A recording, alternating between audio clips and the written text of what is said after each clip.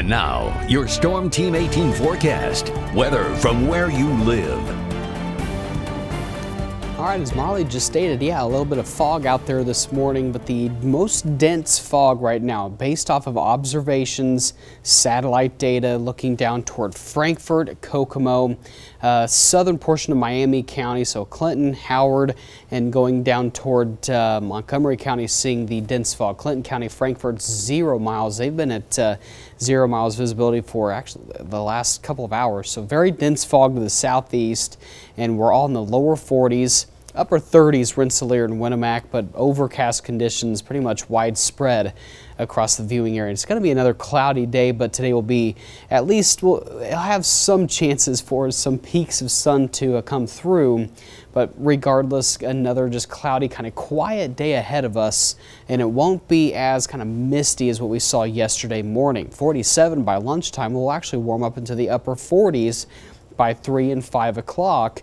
And then we'll still keep with those overcast conditions with, again, maybe a couple peeks of that sun coming through those clouds. So patchy fog again tomorrow morning, but not lasting long. Won't expect too much fog because of the wind kind of helping mix that through. But temperatures in the 30s. We'll be seeing maybe some areas of drizzle in the morning for Thursday, and then more rain, maybe scattered here by 5 o'clock to later in the evening.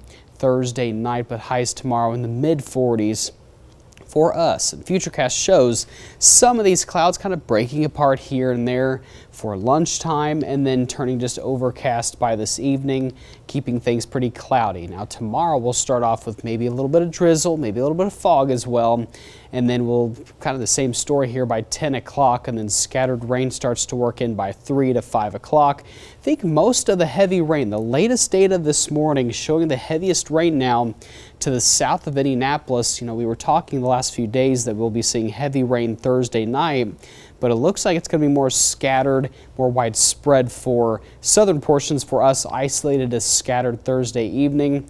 And then we'll see another push kind of come through Friday afternoon. But notice all the snow, all the wintry precipitation north, well north of our viewing area will be above freezing and then it turns cooler just in time for the weekend. Futurecast rainfall because of that heavier push of rain to the south, uh, we're seeing a kind of a decrease in the trend of how much rain we could see. So maybe about a half an inch or maybe about a three quarters of an inch max to the south, but to the north may see just uh, maybe about a half an inch or so. So really have decreased a little bit of that rainfall for our Thursday and Friday systems. So pretty breezy Friday as the front pushes through. We'll see cooler temperatures Saturday and Sunday as we get toward uh, the weekend. Obviously cooler, but we'll have a late isolated shower Saturday into Sunday. And then as we get toward our extended day, 10 day forecast, Monday looks pretty cloudy. And then we'll be watching for our next uh, heavier system. This looks pretty major here for us for some rain Tuesday.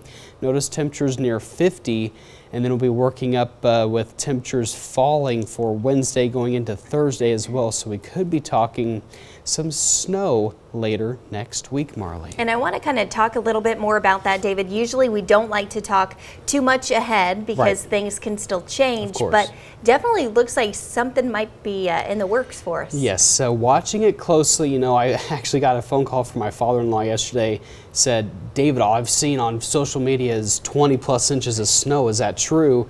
And I'm like, that's more than three days out. Never trust yeah. if you see a forecast or someone posts something on Facebook, major snowstorm or something, you know, that far out. Never trust it. Uh, but uh, very too early to yeah. uh, kind of go into yeah. detail about some snow. But regardless, it will turn cold by the end of next week. Okay. And then as far as this morning, then we're still dealing with more fog. Yeah, more fog, especially down toward Frankfort, Kokomo was seeing the heaviest fog, but here in Lafayette, not looking too bad, but uh, still pretty cloudy for today. All right, David, thank you so much.